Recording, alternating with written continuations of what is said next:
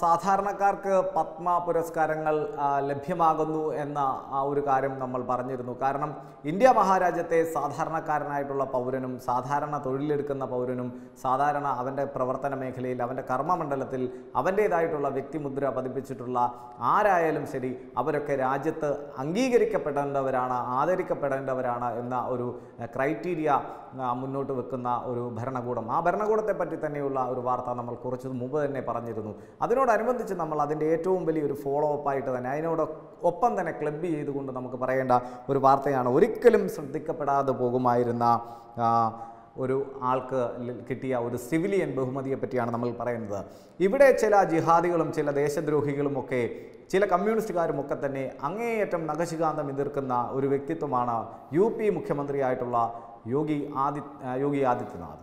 അദ്ദേഹത്തെ സംബന്ധിച്ചിടത്തോളം അദ്ദേഹം ഒരു സന്യാസി വര്യനാണ് അദ്ദേഹത്തിന് ഒരു പ്രത്യേക സാഹചര്യത്തിൽ യു പിയിലെ ഒരു പ്രത്യേക രാഷ്ട്രീയ പരിതസ്ഥിതിയിൽ അദ്ദേഹത്തിന് അവിടുത്തെ രാജനൈതിക സംവിധാനത്തിന്റെ തലപ്പത്തേക്ക് എത്തേണ്ട ഒരു അവസ്ഥാവിശേഷം ഉണ്ടായിരുന്നു പക്ഷേ അദ്ദേഹം വന്നത് മുതൽ യു പി അനുദിനം അനുദിനം കുതിച്ചുകൊണ്ടിരിക്കുകയാണ്. വികസനത്തിന്റെ കാര്യങ്ങളിലായാലും മാൻ പവറിന്റെ കാര്യത്തിലായാലും വിഭവശേഷിയുടെ കാര്യത്തിലായാലും എല്ലാം തന്നെ യു പി ഇന്ത്യയിലെ മറ്റെല്ലാ സംസ്ഥാനങ്ങളെയും കടത്തി വെട്ടി മുന്നേറുന്ന ഒരവസ്ഥാവിശേഷം അത് അദ്ദേഹത്തിന്റെ ഭരണ നൈപുണ്യത്തിന്റെയും കർമ്മകുശലതയുടെയും ഒക്കെ തന്നെ അടയാളപ്പെടുത്തലായി നമുക്ക് പറയാം. അതവിടെ നിൽക്കട്ടെ. പക്ഷേ യു പി മുഖ്യമന്ത്രി യോഗി ആദിത്യനാഥ് തുടർച്ചയായ രണ്ടാം തവണയും ഇന്ത്യയിലെ ഏറ്റവും മികച്ച മുഖ്യമന്ത്രിമാരുടെ പട്ടികയിൽ ഉൾപ്പെട്ടു. ആ പട്ടികയിൽ ഉൾപ്പെട്ട ആ മഹത് വ്യക്തിയെയാണ് ചില ആളുകൾ പിണറായി വിജയനോട് ഉപമിക്കുന്നത്. അതെങ്ങനെ ശരിയാകുമെന്നാണ് നമുക്ക് മനസ്സിലാകാത്തത്. പക്ഷേ അതും അവിടെ നിൽക്കട്ടെ. ഒരു കാര്യം പറയാം. ഈ യോഗി ആദിത്യനാഥിന്റെ ഉത്തർപ്രദേശിൽ നിന്ന് ഒരു നോമിനേഷൻ പത്മ പുരസ്കാരത്തിന് പോയിരുന്നു. അത്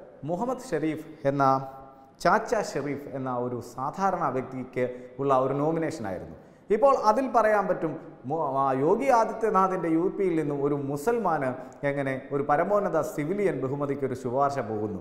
അത് തന്നെയാണ് പറയുന്നത് കപട മതേതരവാദികളുടെയും കപട വർഗീയവാദികളുടെയും കുത്തിത്തിരിപ്പൊന്നും യു പിയിൽ നടക്കില്ല. അവിടെ ഹിന്ദുവും മുസൽമാനും ക്രിസ്ത്യാനിയും ജൈനനും പാഴ്സിയും സിഖുകാരനുമെല്ലാം ഒരു ഏകോദര സഹോദരരെ പോലെ കഴിയുന്ന ഒരു പ്രദേശമാണ്. അപ്പോൾ ഈ ചാച്ച ഷെറീഫ് എന്ന മുഹമ്മദ് ഷെറീഫ് അദ്ദേഹം ഒരു ഒരു സാധാരണ സാധാരണയിൽ സാധാരണക്കാരനായ വ്യക്തിയാണ്. അദ്ദേഹത്തിന്റെ തൊഴിൽ എന്താണെന്നറിയുമോ? ഒരു പക്ഷേ കഴിഞ്ഞ ഇപ്പോൾ കോൺഗ്രസ് ഉൾപ്പെടെയുള്ള മറ്റുള്ള സർക്കാരുകൾ ഭരിക്കുമ്പോൾ പത്മ പുരസ്കാരങ്ങൾ നല്ല പളവിളുത്ത കോട്ടും സമൂഹത്തിന് ഉന്നത സ്ഥാനങ്ങളിലുമൊക്കെ ഇരിക്കുന്ന ആളുകൾക്ക് മാത്രം ലഭിച്ചുകൊണ്ടിരുന്ന പരമോന്നത സിവിലിയൻ പുരസ്കാരം ഇപ്പോൾ എത്തപ്പെട്ടിരിക്കുന്നത് അർഹരായിട്ടുള്ള ആളുകളുടെ കയ്യിലേക്കാണ്. ചാച്ച ഷെറീഫിന്റെ തൊഴിൽ കഴിഞ്ഞ കാൽനൂറ്റാണ്ടായി ഇരുപത്തിയഞ്ച് വർഷക്കാലമായി അവകാശികളില്ലാത്ത ആയിരക്കണക്കിന് മൃതദേഹങ്ങളുടെ അന്ത്യകർമ്മങ്ങൾ ചെയ്യുന്ന ഒരു സൈക്കിൾ മെക്കാനിക്ക് ഉപജീവന മാർഗമാ സൈക്കിൾ റിപ്പയറിങ് ഉപജീവന മാർഗമാക്കിയ ഒരു വ്യക്തിത്വമാണ് അദ്ദേഹം. കഴിഞ്ഞ കാൽ നൂറ്റാണ്ട് കാലമായി യു പിയിൽ അവകാശികളില്ലാതെ വരുന്ന ഈ പ്രേതങ്ങൾ അനാഥ പ്രേതങ്ങൾ എന്നൊക്കെ നമ്മൾ പറയുന്ന മൃതശരീരങ്ങൾക്ക് ആ മൃതശരീരങ്ങൾക്ക് വേണ്ടും വിധം വേണ്ടും വിധമുള്ള ഉചിതമായ യാത്രയയപ്പ് ഇഹലോകത്ത് നിന്നും പരലോകത്തിലേക്കുള്ള യാത്രയയപ്പ് അവരുടെ മതപരമായ ആചാരങ്ങൾക്കനുസരിച്ച് ഒരു പ്രതിഫലേച്ചയും കൂടാതെ ചെയ്യുന്ന ഒരു ബഹുമാന്യനായ വ്യക്തിത്വമാണ് ചാച്ച ഷെറീഫ് എന്ന മുഹമ്മദ് ഷെറീഫ് എന്ന ഒരു ബഹുമാന്യ വ്യക്തിത്വം തന്നെ. നമ്മൾക്കൊരു സംശയവും വേണ്ട. നമ്മൾക്കൊരു പക്ഷേ വലിയ വ്യവസായ സംരംഭകർക്കും വലിയ വിദ്യാഭ്യാസ വിചക്ഷണർക്കും അല്ലെങ്കിൽ വലിയ പൊളിറ്റീഷ്യൻസിനും വലിയ കലാകാരന്മാർക്കും ഒക്കെ കൊടുക്കുന്ന അതേ പ്ലാറ്റ്ഫോമിൽ തന്നെ ഈ ഒരു മനുഷ്യനും ഒരു അംഗീകാരം കൊടുക്കുവാൻ ബി ജെ പി ഭരിക്കുന്ന സർക്കാരിനല്ലാതെ മറ്റേത് സർക്കാരിന് സാധിക്കുമെന്ന ഒരു കാര്യം അതവിടെ നിൽക്കട്ടെ നമ്മൾ പറയണം. ഒരു കാര്യം കൂടിയുണ്ട്. ഫൈസാബാദിലും പരിസരത്തും അവകാശികളില്ലാത്ത ഇരുപത്തി അയ്യായിരത്തിലധികം മൃതദേഹങ്ങളുടെ അന്ത്യകർമ്മങ്ങൾ ഈ ചാച്ച ഷെറീഫ് നടത്തിയിട്ടുണ്ട് ഇതുവരെ. വ്യക്തിയുടെ മതപരമായ ആചാരങ്ങൾക്കനുസൃതമായി അദ്ദേഹം അന്ത്യകർമ്മങ്ങൾ നടത്തി ആ മൃതദേഹങ്ങൾ സംസ്കരിക്കുന്നു. ഹിന്ദു മുസ്ലിം വ്യത്യാസമൊന്നും ചാച്ച ഷെറീഫിനില്ല എല്ലാവരും മനുഷ്യരാണ്. ജീവിച്ചിരിക്കുമ്പോൾ ഇത് പലതും പറഞ്ഞ് പലതിലും തർക്കിക്കുന്നു.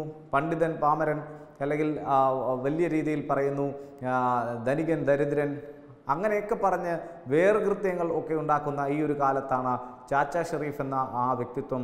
വളരെ വ്യത്യസ്തനാകുന്നത്. അതുതന്നെയാണ് യു പി മുഖ്യമന്ത്രി യോഗി ആദിത്യനാഥ് വളരെ ഇനിഷ്യേറ്റീവ് എടുത്തുകൊണ്ട് അദ്ദേഹത്തിന്റെ പേര് തന്നെ ഈ പത്മ പുരസ്കാരത്തിന് നിർദ്ദേശിച്ച നോമിനേഷനിൽ ഉൾപ്പെടുത്തിയതും. നമ്മൾ മനസ്സിലാക്കേണ്ടതുണ്ട് ഈ വർഷത്തെ പത്മ അവാർഡ് ജേതാവായ മുഹമ്മദ് ഷെറീഫ് വളരെ നന്ദിയോടുകൂടി പറയുന്നു താൻ ചെയ്ത സത്കർമ്മങ്ങൾ എന്നൊന്നും താൻ പറയുന്നില്ല പക്ഷേ തന്റെ കടമയാണെന്ന് തനിക്ക് തോന്നി. പക്ഷേ തന്നെ തന്റെ പ്രവർത്തനങ്ങളെ മനസ്സിലാക്കിയ ഉത്തർപ്രദേശ് സർക്കാരിനും മുഖ്യമന്ത്രി യോഗി ആദിത്യനാഥിനും തന്റെ പ്രവർത്തനങ്ങളുടെ വലുപ്പം മനസ്സിലാക്കിയ കേന്ദ്ര സർക്കാരിനും പ്രത്യേകിച്ച് പ്രധാനമന്ത്രി നരേന്ദ്രമോദിയോടുമുള്ള തന്റെ അകമഴിഞ്ഞ നന്ദിയാണ് അദ്ദേഹം ഇപ്പോൾ ഈ ഒരു അവസരത്തിൽ എല്ലാ മാധ്യമങ്ങളിലൂടെയും എല്ലാ തലങ്ങളിലും അദ്ദേഹം പോകുന്നിടങ്ങളിലെല്ലാം തന്നെ അദ്ദേഹം പ്രകടിപ്പിക്കുന്നത്. കാരണം അദ്ദേഹത്തെ പോലെയുള്ള ഒരു സാധാരണ സൈക്കിൾ മെക്കാനിക്കിന് എങ്ങനെ കുറേ നാൾ മുമ്പ് വരെ നരേന്ദ്രമോദി ഭരിക്കുന്ന ഇന്ത്യയിലല്ലാതെ എവിടെ ഒരു പത്മ പരമോന്നത സിവിലിയൻ പുരസ്കാരം സ്വപ്നം കാണാൻ പോലും സാധിക്കുമോ എന്ന കാര്യമാണ് നമ്മുടെ ബഹുമാനപ്പെട്ട പ്രേക്ഷകർ കൂടി ഇപ്പോൾ ചിന്തിക്കേണ്ടത്. അതുകൊണ്ട് തന്നെ നമ്മൾ ഈ വാർത്തയുടെ പ്രാധാന്യത്തെ ഒട്ടും കുറച്ച് കാണാതെ ഇത് ഒരു പ്രധാനപ്പെട്ട വാർത്തയായി തന്നെ നമ്മുടെ ബഹുമാനപ്പെട്ട പ്രേക്ഷകർക്ക് മുമ്പിൽ അവതരിപ്പിക്കുകയാണ്. നമ്മളുടെ ഒരു ഭരണകൂടം നമ്മളെ എല്ലാവരെയും സമ സമരായി കരുതുന്ന നമ്മളുടെ എല്ലാം സുഖത്തിലും ദുഃഖത്തിലും എല്ലാം നമ്മോടൊപ്പമുള്ള ഒരു വലിയ വിശാല മനസ്ഥിതിയുള്ള വിശാല മനസ്സാക്ഷിയുള്ള ഒരു ഭരണകൂടത്തിന്റെ തണലിലാണ് നാം ഓരോ ഭാരതീയരും എന്നതിൽ ഏറ്റവും വലിയ അഭിമാനം കൊള്ളുക. അതിന്റെ ഏറ്റവും വലിയ ഉദാഹരണമാണ് മുഹമ്മദ് ഷെരീഫ് എന്ന ചാച്ച ഷെരീഫ് എന്ന കാര്യത്തിലും ഒരു സംശയവും വേണ്ട.